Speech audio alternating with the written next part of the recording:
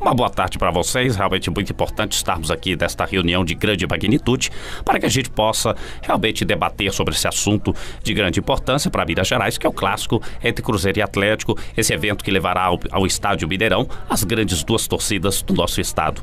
Então eu gostaria de saber de ambos os representantes, ambos os presidentes, a respeito desse clássico que se realizará no dia 3 de fevereiro aqui no Mineirão. Primeiramente, Alexandre Calil, o seu parecer sobre esse clássico. Olha, governador, sinceramente, não concordo, não concordo que esse negócio de ter. Duas torcidas até pode ter. Mas essa coisa de realizar Cruzeiro e Atlético, o clássico no Mineirão, não concordo com isso. Eu acho que esse evento, esse, esse clássico, tem que ser realizado no Castor Fuentes, em Nova Lima.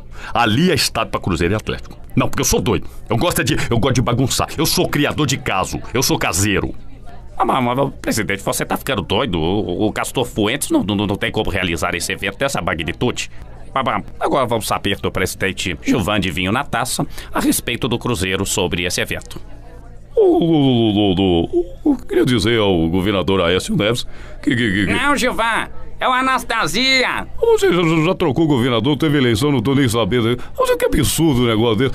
Ou de qualquer maneira, ô, Anastasia, eu quero dizer que. que, que, que o. o, o que, que, que foi que você perguntou?